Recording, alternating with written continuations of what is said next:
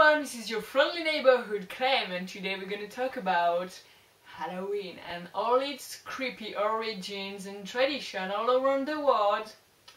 As everybody knows, Halloween takes place the October 31.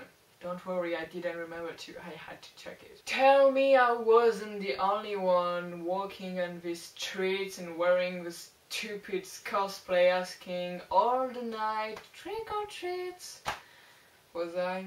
Halloween is supposed to scare you, not to bore your neighbors with this stupid question.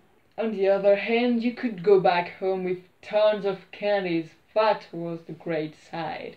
And then you're asking yourself, where does this tradition come from? That's why I'm here to answer this question.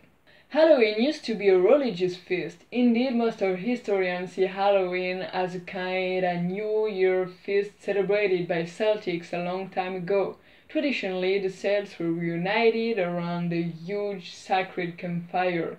Then the fire was turned off to avoid the apparition of mean spirits and maledictions. At the 5th century, Druidic feast disappeared with the arrival of a new religion, Christianity.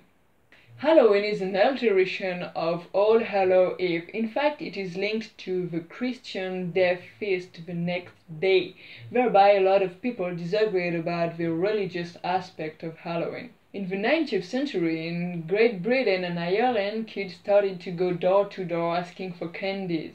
This tradition has spread to the United States since the 1930s. Nowadays, Halloween is celebrated all around the world, especially in Ireland, Scotland, England, the United States, Canada, and Australia. People make lanterns with pumpkins, disguise themselves into maleficent creatures like zombies, werewolves, ghosts, witches, monsters, vampires and I didn't because I'm not shameless. I think Halloween has become to me an average day, although it used to be the opportunity to have fun with my friends, you know. Uh, but I still have fun with my guitar trying to learn special Halloween songs, just like, you know, Ghostbuster original soundtrack.